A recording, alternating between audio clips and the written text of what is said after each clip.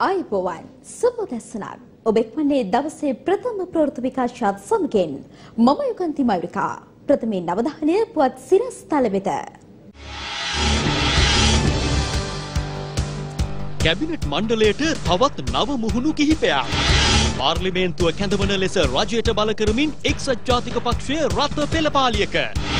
රට අරාජික වී නොමැති බව නව අධිකරණ අමාත්‍යවරයා කියයි. මහින්දට සහයේදී පැත්තක් නොගන්නා වෙල්ගම. තවත් අලුත් දවසක්.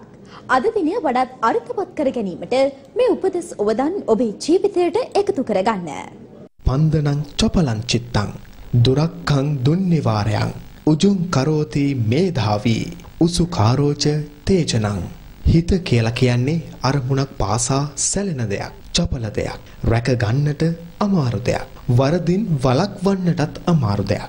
නමුත් බුද්ධිමත් කෙනා ධර්මයේ පිහිටලා එබඳු සිත පවා ඍජු කරගන්නවා ඇද කුද හැරලා ඊදණ්ඩක් ඍජු කරන හීවඩුවෙක් වගේ වාලිකා පර්වතයේදී මේ ගීය තෙරුන් අරභයා අප මහා ගෞතම සම්බුදුරජාණන් වහන්සේ දේශනා කළ ගාථාවකි.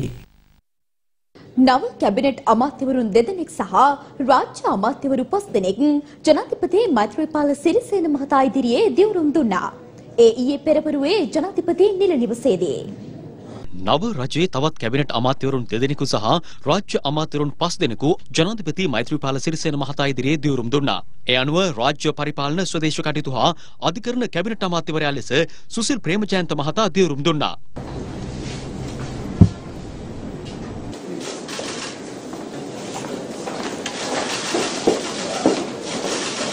ජාත්‍යන්තර වෙළඳ හා ආයෝජන ප්‍රවර්ධන කැබිනට් අමාත්‍යවරයා ලෙස දිවුරුම් දුන්නේ බන්දුල ගුණවර්ධන මහතායි. ලංකාවේ දේශය තුළ වෙනම නදියක් පිහිටුවීමට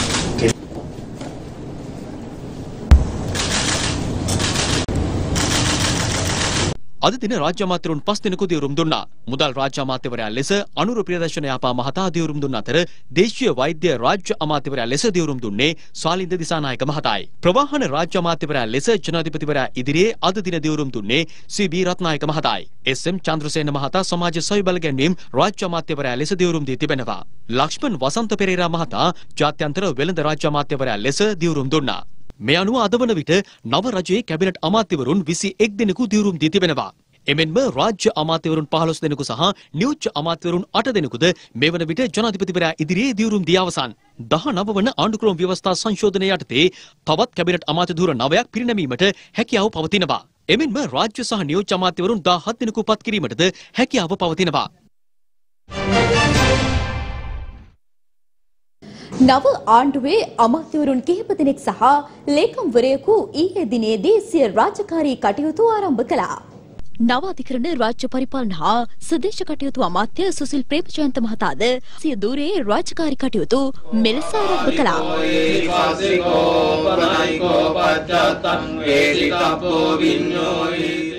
මේ අතර කංජතෙල් සම්පත් සංවර්ධන රාජ්‍ය අමාත්‍යවරයා ලෙස පවිත්‍රා වන්‍යාරච්චි මහත්මියද සිය දූරයේ වැඩභාර කරනු ලැබුවා. අද පෙරවරුවේ කොළඹ හත මල්පාරේ පිහිටි අමාත්‍යාංශ කාර්යාලයේදී රාජ්‍ය අමාත්‍යවරිය මෙලෙස වැඩභාර කරනු ලැබුවා. එමෙන්ම ජාතික ඒකාබද්ධතා ප්‍රතිසන්ධාන සහ රාජ්‍ය භාෂා අමාත්‍ය වාසුදේව නානායක්කාර මහතාද සිය දූරයේ රාජකාරී කටයුතු ආරම්භ කළා. ජනමාධ්‍ය හා ඩිජිටල් යටිතල පහසුකම් රාජ්‍ය අමාත්‍යාංශයේ නව ලේකම්වරයා ලෙස පත් වූ ආචාර්ය චරිත හේරත් මහතා ජනමාධ්‍ය හා ඩිජිටල් යටිතල පහසුකම් රාජ්‍ය අමාත්‍යාංශයේදී සිය රාජකාරී කටයුතු ආරම්භ කළා.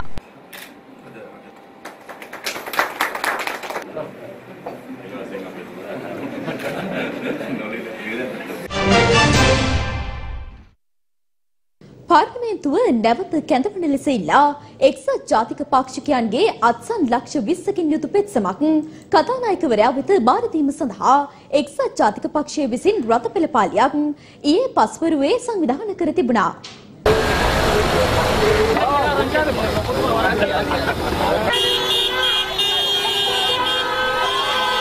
එක්සත් ජාතික පක්ෂ පාර්ලිමේන්තු මන්ත්‍රීවරුන් නියෝජිතයින් සහ පාක්ෂිකයින්ගේ සහභාගීත්වයෙන් මෙම රථ පෙළපාලිය පැවැත්වුණා. ගාලුමෝතර පිටියෙන් ආරම්භ කරන ලද රථ පෙළපාලිය අරලියගහ මන්දිරය ඉදිරි පිටින් පැමිණ නිදහස් චතුරස්‍ර පරිශ්‍රය වෙත ගමන් කළා.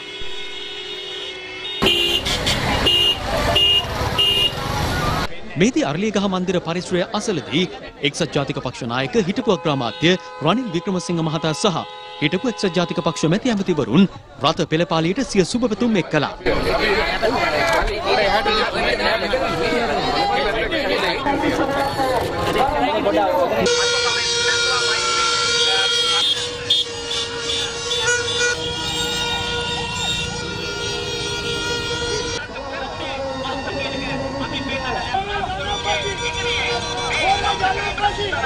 ඉන් අනතුරුව නිදහස් චතුරස්‍ර පරිශ්‍රය වෙත පැමිණි එක්සත් ජාතික පක්ෂ පාර්ලිමේන්තු මන්ත්‍රීවරුන් එක්සත් ජාතික පක්ෂ නිර්මාතෘ ඩී.එස්. සේනනායක මහතාගේ පිළිරුවට පුෂ්ප පහර දැක්වීමට එක් වුණා.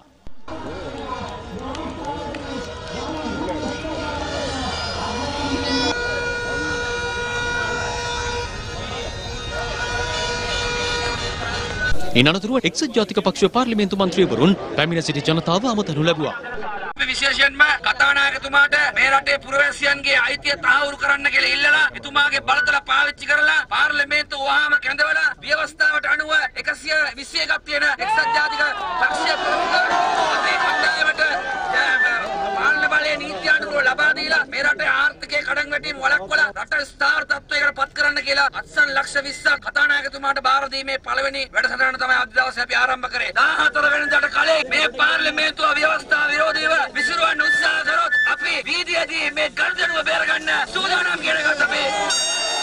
අපි නිදහස වැඩි කරගන්නේ කියලා අපි තවත් ජනාධිපතිවරයෙක් ගෙනාව ජනවාරි 8 වෙනිදා. මේ ජනාධිපතිවරයා උරන්දු උනේ අවුරුදු 5 තුලදී කරලා තමයි නැවත මැතිවරණයට යන්නේ කියලා. එතකොට රටේ නායකයා වශයෙන් පත් වෙලා තිබින්නේ කියලා අපු ගත්ත ගෙනාපු ජනාධිපතිවරයා අපිට තීර නිදහසක් නැති කරා. ජනවාරි 8 වෙනිදා තමුන්නාසල ලබා දුන්න ජනාධිපති පදවිය තමුන්නාසෙට ඒක අයිති නෑ ඇත්තටම කියනවනම්. තමුන්නාසෙ පොරොන්දු වෙච්ච ඒ නිදහස තමුන්නාසගෙන් ලැබෙන තුරු අපි මේ සටන දිගටම ගෙනියනවා මතක රට තුළ උද්ගතව ඇති අර්බුදය විසඳාගත යුත්තේ පාර්ලිමේන්තුව කැඳවා බහුතරය පෙන්වීමෙන් පමණක් බව පාර්ලිමේන්තු මන්ත්‍රී කුමාර වෙල්කම මහතා පවසනවා.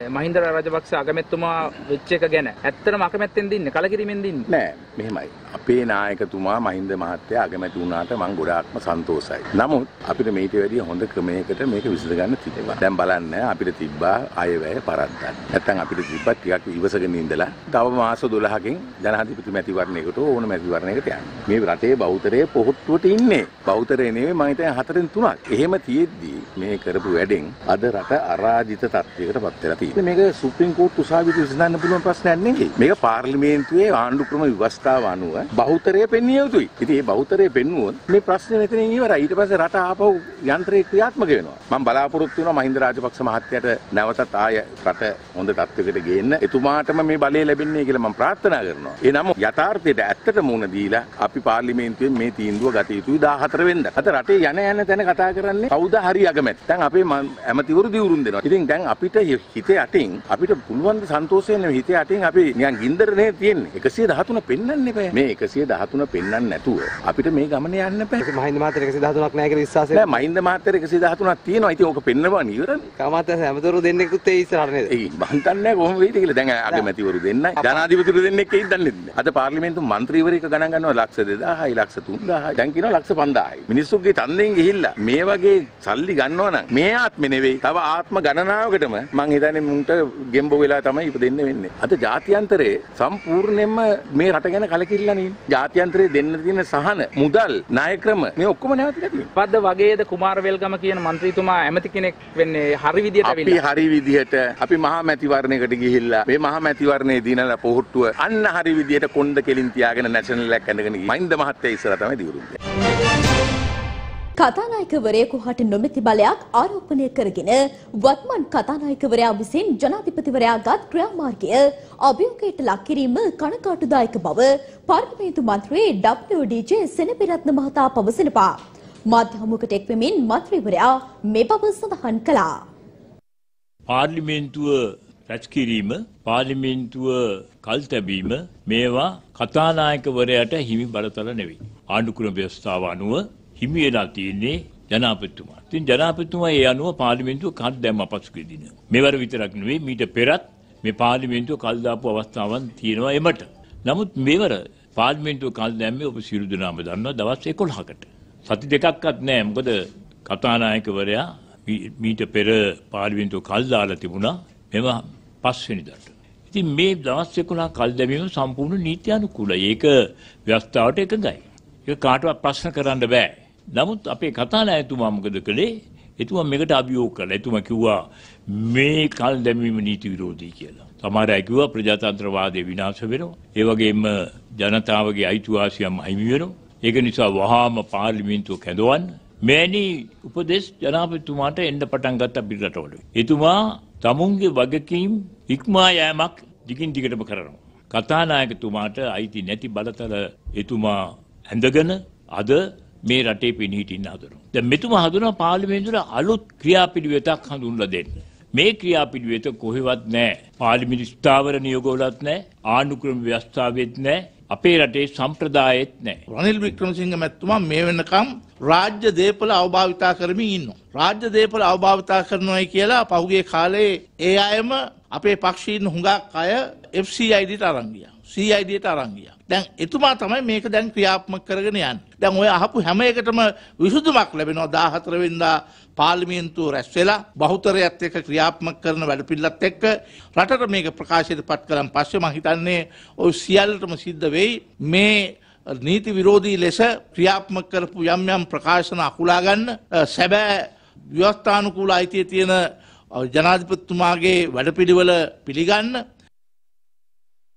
රට අරාජික වීමට කටයුතු කරනු ලබන්නේ තනතුරු අහිමි වූ පිරිස් බව අමාත්‍ය සුසිල් ප්‍රේමචන්ද්‍ර මහතා පවසනවා. අග්‍රාමාත්‍ය කාර්යාලයේ පැවති මාධ්‍ය හමුවකට එක්වෙමින් ඒ මහතා මේ බව සඳහන් කළා. වදුබර වැඩි කෙරුවා. වදුබර වැඩි කෙරුවේ කර්ම නිෂ්පාදනය වැඩි කරන්නේ නැතුව. නිෂ්පාදනය වැඩි කරන්න දිලි දෙන්නේ නැතුව බදු ක්‍රමය වැඩි කෙරුවා. මේ නිසා කිසිම ආර්ථික ප්‍රබෝධයක් අපි ගම් වලට ගියොත් ගොවි අසන්තෝෂයි නගර කිව්වොත් නගර කඩවැ කඩහිමි අසන්තෝෂයි. අතු අවශ්‍යයි නෝ අතු අවශ්‍යයි කියලා. රත්තරන් පිටර දාන කිකිලි. මේ මරලා දාපුවම මේ රත්තරන් පිටර හම්බ ඇත්තටම ලංකාවේ නියම දේශපාලන ප්‍රශ්න ඒකයි මම හිතනවා එක්සත් ජාතික පක්ෂයට අපේ වාගේ රටක ආර්ථිකය මෙහෙවන්න පුළුවන්. උවමනාවක්වත් හයියක්වත් දැක්මක්වත් වැඩ පිළිවෙලක්වත් තියෙනවා කියලා මම විශ්වාස කරන්නේ නැහැ. ආර්ථිකයේ ප්‍රතිලාභ මහජනයට ගලා නොකර ගලා නොකරන තැනි රටේ මිනිස්සු ආණ්ඩුවට අපි ආණ්ඩුවට එපා.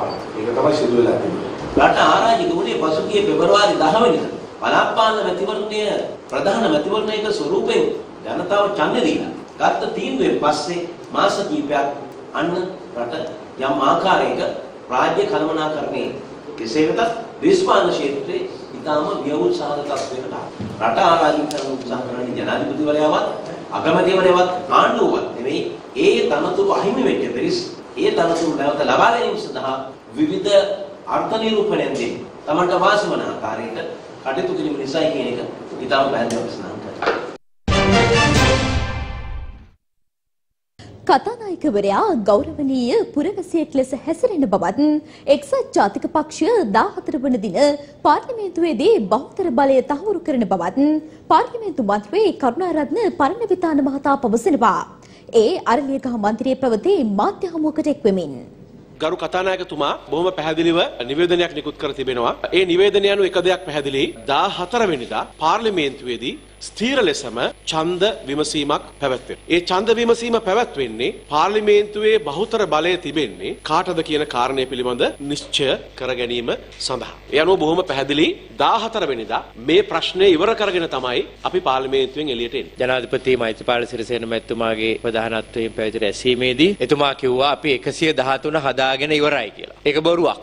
ඒ හින්දා තමයි තාමත් 113 හදන්න ඊයේ මනෝ ගණේෂන් මැතිතුමාට එහෙම කතා කළේ. ඒ අනුව මේ පත් කරපු දාපු අග්‍රාමාත්‍ය ධූරය ඔය පත් කරන කැබිනට් මණ්ඩල ඔය පත් කරන ලේකම්වරු සභාපති ඔක්කොම නීති විරෝධී. දැන් තව වැඩක් කරනවා. කතානායකතුමාට මඩ ගහනවා කතානායකතුමා අල්ලස් කොමිෂන්ම ගෙනියන්න හදනවා. සමහර අය ගිහලා පැමිණිලි බාර දීලා තියෙනවා. ඒ අයට අපි කියනවා අල්ලස් පැමිණිලි ගිහින් දෙන්න අර മന്ത്രിවරු මිලදී ගන්න හදපු අයට. ඊළඟ ගොඩවේදකම තමයි ඒගොල්ලෝ කරන්න හදන්නේ. දැන් කතා කරනවා ජනමත විචාරණයක් තියන්න. මේකත් ඒ වගේම තමයි. අර පාර්ලිමේන්තු විසිරවන කතා වගේම මේකත් ඒ වගේම තවත් විසූක දර්ශනයක් වෙලා තමයි නතර වෙන්නේ. රට 26 වෙනිදා ඉඳන් අද දිනකද 8 වෙනිදා. ඔබතුමාලා හිතනද රට දුවනවා කියලා? රට අකර්මණ්‍ය කරලා ගමේ ග්‍රාම සේවක මහත්තයෙක් ලියුමක් දෙනවා වගේ අමාත්‍යවරුපත් කරනවා, අගමැතිවරුපත් කරනවා. විශේෂයෙන්ම කියන්නට ඕනේ තව හොඳ නිවුස් එකක් දෙකක් මම සාමාන්‍යයෙන් කිව්වොත් වැඩේ කරනවා අනිවාර්යෙන් වෙනවා. ඒක සමහරවිට අද හවස වෙන්න පුළුවන්, හෙට උදේට වෙන්න පුළුවන්. good news coming your way. ඒ නිසා මේකෙදි පැහැදිලිව කියන්නට ඕනේ දැන් වැඩේ සුන් බබත්සුන් බබාගේ ආච්චිත්සුන් වෙලා තියෙන දයසිරි ජයසේකර මගේ මිත්‍රයා අර ඒ පැත්තට ආ මෙහෙම් හිටන් මෙහෙන් හිටන් මෙහෙන් හිටන් හුටන් කී කී ගියපු මිනිස්සයා දැන් ආයෙත් ගිල හිටන්ලයි හුටන්ලයි ඔක්කොත් එක්කම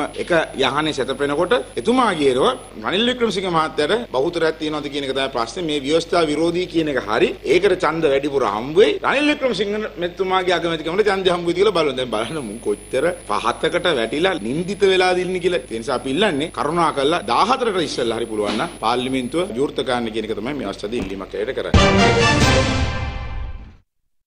පවතින දේශපාලන අර්බුදය විසඳීම සඳහා වහාම පාර්ලිමේන්තුව නැවත කැඳවීමට පියවර ගන්නා ලෙස ඇමරිකා එක්සත් ජනපදය ජනාධිපති මෛත්‍රීපාල සිරිසේන මහතාගෙන් ඉල්ලීමක් කර තිබෙනවා. ඒ ඇමරිකා එක්සත් ජනපද රාජ්‍ය දෙපාර්තමේන්තු ප්‍රකාශිකා හෙදර් නුවට් මහත්මිය විසින් ට්විටර් පණිවිඩයක් නිකුත් කරමින් පවතින දේශපාලන අර්බුදය විසඳීම සඳහා කඩිනමින් ශ්‍රී ලංකා පාර්ලිමේන්තුව නැවත කැඳවීමට පියවර ගන්නා ලෙස අමරිකා එක්සත් ජනපද රාජ්‍ය දෙපාර්තමේන්තු ප්‍රකාශිකා හෙද නුවඩ් මහත්මිය සිය ට්විටර් ගිණුමෙන් පණිවිඩයක් නිකුත් කරමින් ජනාධිපති මෛත්‍රීපාල සිරිසේන මහතාගෙන් ඉල්ලීමක් කර තිබෙනවා. එසේම පාර්ලිමේන්තුව කැඳවීම කල් දෙමීම තුළින් රටේ අස්ථාවරභාවයක් පෙන්눔 කරන බවත් එම ට්විටර් ගිණුමේ වැඩිදුරටත් සඳහන් වනවා. මෙමගින් ශ්‍රී ලංකාව පිළිබඳව ජාත්‍යන්තරයට තිබෙන විශ්වාසයද පළුදුවන අතර එමගින් ජනතාවට හා රටේ පාලනයට මෙන්ම රටේ සෞභාග්‍ය හා ස්ථීරභාවයටද එය බාධාවක් වන බවත් එම ට්වීටර් පණිවිඩයේ සඳහන්. මේ අතර ශ්‍රී ලංකාවේ බටහිර තානාපති කාර්යාලයක් පවසන්නේ ශ්‍රී ලංකාවේ ප්‍රජාතාන්ත්‍රික රාමුව හා ප්‍රජාතන්ත්‍රවාදය ස්ථාපිත කිරීමේ අභිප්‍රාය හා ප්‍රජාතන්ත්‍රවාදී මූලධර්මවලට ශ්‍රී ලංකාව ගරු කරනු ඇති බවට අපේක්ෂා කරන බවයි. ශ්‍රී ලංකාවේ ප්‍රජාතන්ත්‍රවාදී සෞඛ්‍යයට සහ දේශපාලන ස්ථාවරභාවයට ඒ ඉතාමත් වැදගත් බවයි එම තානාපති කාර්යාලයේ උසස් නිලධාරියෙකු පවසන්නේ. කෙසේ වෙතත් ශ්‍රී ලංකාවේ වර්තමානයේ උද්ගත වී ඇති තත්ත්වය අදාළ පාර්ශවයන් විසින් විසඳාගත යුතු බවත් ඒ සඳහා තමන් කිසිවිටකත් මැදිහත් නොවන බවත් එම කාර්යාලය පවසනවා. එසේම ඒ අභ්‍යන්තර අර්බුදයක් බවත් එම බටහිර කාර්යාලයේ උසස් නිලධාරියා වැඩිදුරටත් පවසනවා. ශ්‍රී ලංකාවේ නිල ආණ්ඩුව කුමක්ද යන්න තවමත් පැහැදිලි නොවන අතර මේ සඳහා ප්‍රජාතන්ත්‍රවාදීව පාර්ලිමේන්තු රැස් කරවා විසඳුම් සොයාගත යුතු බවද එම බටහිර තානාපති කාර්යාලයේ උසස් නිලධාරියාගේ මතයයි. කෙසේ වෙතත් ඔවුන් කිසිම පාර්ශවයක පැත්තක් නොගන්නා අතර ප්‍රජාතන්ත්‍රවාදී රාමුව තුළ මෙම ප්‍රශ්නයට විසඳුම් සොයාගත යුතු බව එම බටහිර කාර්යාල උසස් නිලධාරියාගේ මතයයි. මේ අතර එක්සත් ජනපදයෙන් වාර්ෂිකව සහස්‍ර අභියෝග සඳහා මුදල් ප්‍රදානය ලෙස ලංකාවට ලබා දෙන ඩොලර් මිලියන 480ක මුදලක් මේ වන විට తాවකාලිකව නතර කර තිබෙන බවටද තොරතුරු වාර්තා වනවා. රටේ පවතින අර්බුදය විසඳී ස්ථාවරභාවයට පැමිණි පසු එම ප්‍රදානයන් ලංකාවට ලබා දෙනු ඇති බවටයි වැඩිදුරටත් තොරතුරු වාර්තා වන්නේ. එත් සමගින් අපගේ උදැසන ප්‍රවෘත්ති විකාශය මින් නිමාවට පත්වනවා. යළිත් හමුවෙමු අපගේ මධ්‍යහන ප්‍රවෘත්ති විකාශයත් සමගින් ඔබට සුබ දවසක්.